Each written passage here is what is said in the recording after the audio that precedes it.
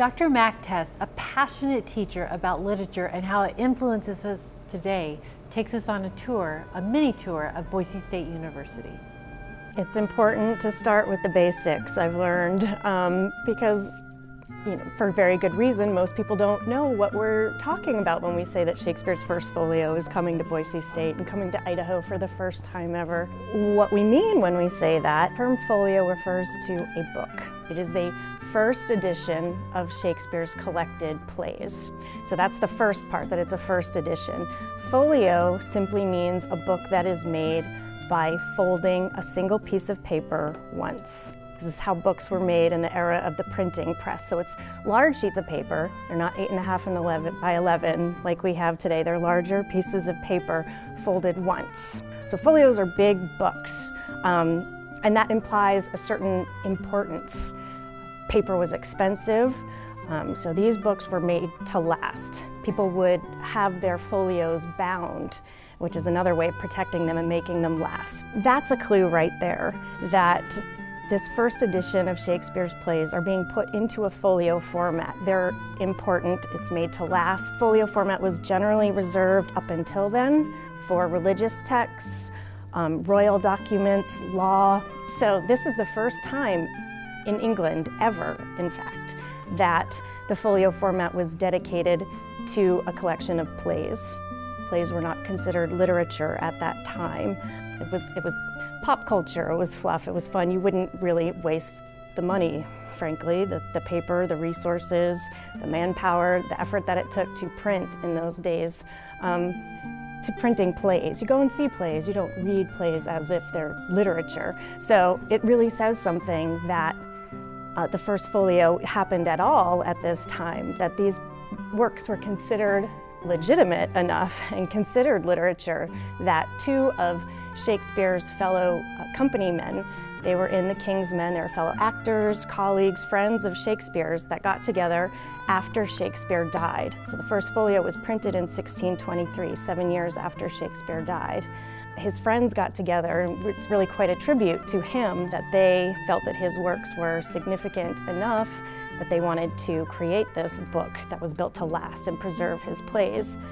And thankfully, by doing so, half of Shakespeare's plays that we know of today are preserved because of that effort.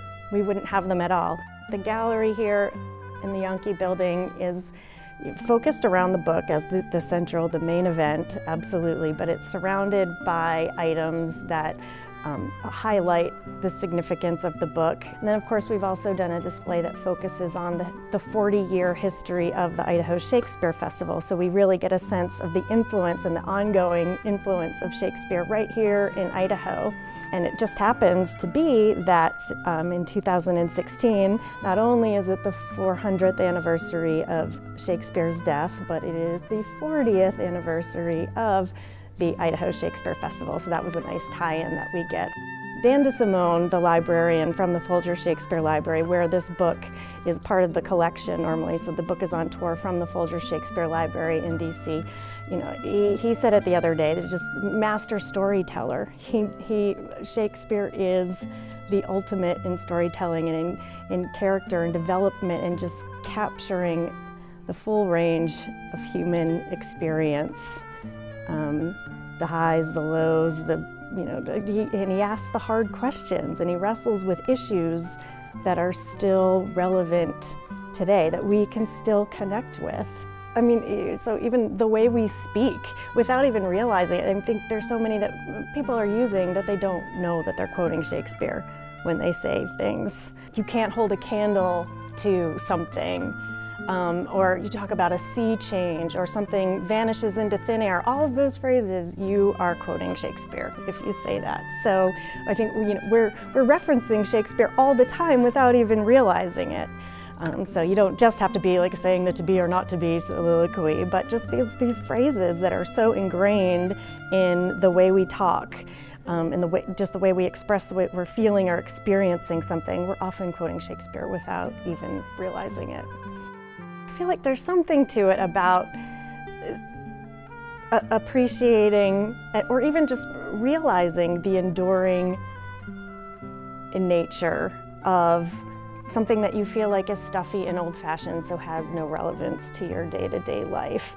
Um, but then realizing there are connections. There's these certain through lines of just what it is to be a person and how hard it can be to be a person and how amazing it can be to be a person. And seeing that reflected in works that were written 400 years ago, that there are tie-ins to your life and your experience. The book itself, the first folio, is open to Hamlet and arguably the most speech in all of the English language, the to be or not to be speech. So that is what visitors see when they come here. And that was actually determined by the Folger Shakespeare Library. So that is consistent. This tour, this installation is part of a national tour and it stops in one site in every state throughout 2016. So all, every host site will have the book open to the to be or not to be speech. So everyone across America will have that same experience. I can tell you I've seen more than a few people who are literally giddy when they walk up to the book. They, they're, they're here to see it and they're so excited and they, they're just sort of beside themselves approaching the case, uh, what they're about to see. So that's been fantastic to experience and I've seen that several times over. So that's incredibly rewarding. to be or not to be? That is the question. Whether 'tis nobler in mind to suffer the sings and arrows of outrageous fortune, to take up arms against the sea of troubles by opposing and them. to die. His words. That's thank you. Thank you. Shakespeare, that was just such a great event that happened over at Boise State. I mean, really incredible.